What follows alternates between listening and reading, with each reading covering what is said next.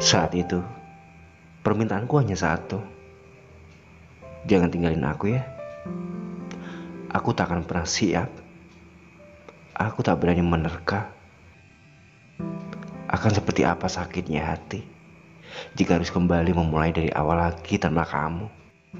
Tapi ternyata kamu tetap pergi.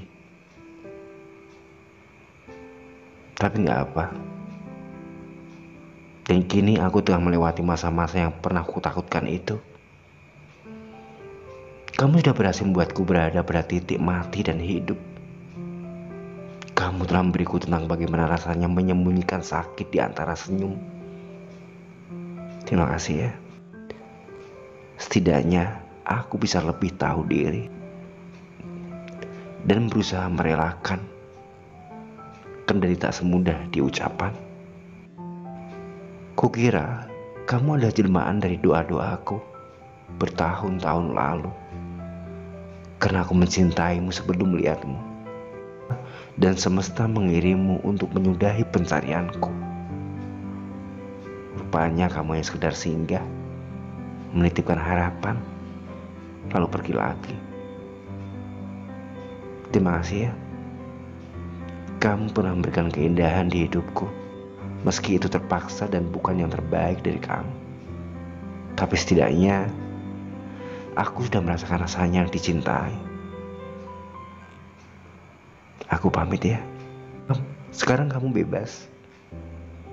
Gak akan pernah lagi dengan orang cerewet sepertiku yang setiap saat tanya kabarmu, mencemaskanmu, bahkan mencemburuimu. Dan mulai tengah malam nanti, kamu gak akan menerima telepon dariku lagi yang suka mengancammu. Jika belum tidur, paginya aku gak akan bilang I love you sama kamu. Dan mulai saat ini, aku akan mulai belajar menghapus rasa dari hatiku.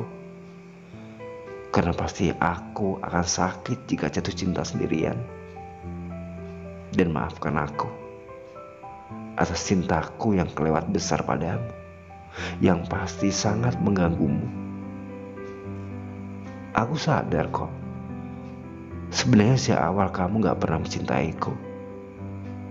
Kamu hanya merasa gak enak untuk menolakku. Hingga kamu baru sadar, jika cinta gak bisa dipaksakan. Selamat tinggal ya. Moga aku tetap kuat dan tanpa harus ada rapuh. Sekali lagi, kamu jangan khawatirkan aku. Aku akan baik-baik saja kok. Aku cukup butuh pemikiran dewasa dalam menghadapi ini. Semoga sakitnya nggak parah dan waktu akan cepat menyembuhkannya.